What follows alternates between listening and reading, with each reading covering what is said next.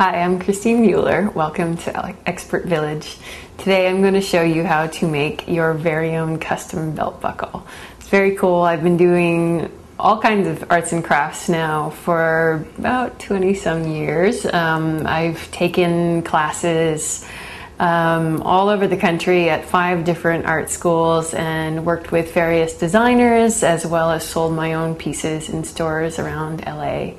Um, so have a little bit of expertise and I would love to share it with you today. Um, it's really um, a cool thing to do to have something that you've made to reflect your own individual personal style and taste, and um, it's unique. Nobody else is going to have it. So, um, what you need to get started um, is basically just a belt and a buckle and a piece or ornament that you're going to want to use to create your buckle. Um, you can just um, about use anything.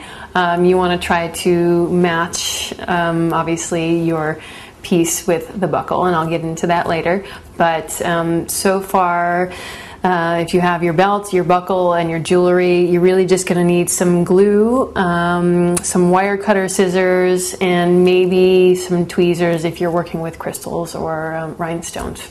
We'll get into that more later too.